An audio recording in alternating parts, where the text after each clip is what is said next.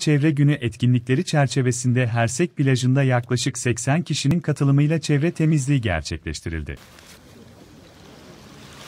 Osman Gazi Köprüsü'nün ayaklarında olan plajda yapılan temizlikte bölge tüm çöplerden arındırıldı.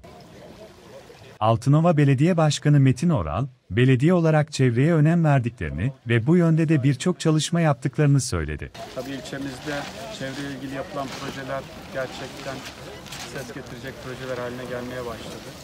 Ee, bu bölgemiz özellikle sahilimiz çok bizim için kıymetli, önemli.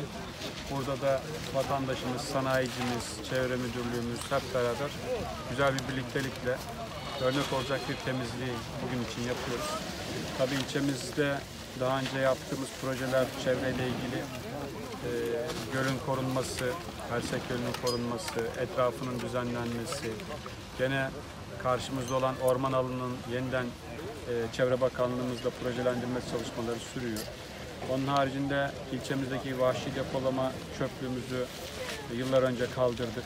Orasını şimdi piknik alanı yaptık. E, ve bu bölgemiz artık yaşanabilir, çevresi korunabilir bir alan halinde. Altınova halkının da çevreyle ilgili bilincinin arttığı bir e, zamana girdik. İnşallah Altınova halkımızla beraber Altınova'yı hep birlikte korumaya çalışıyoruz.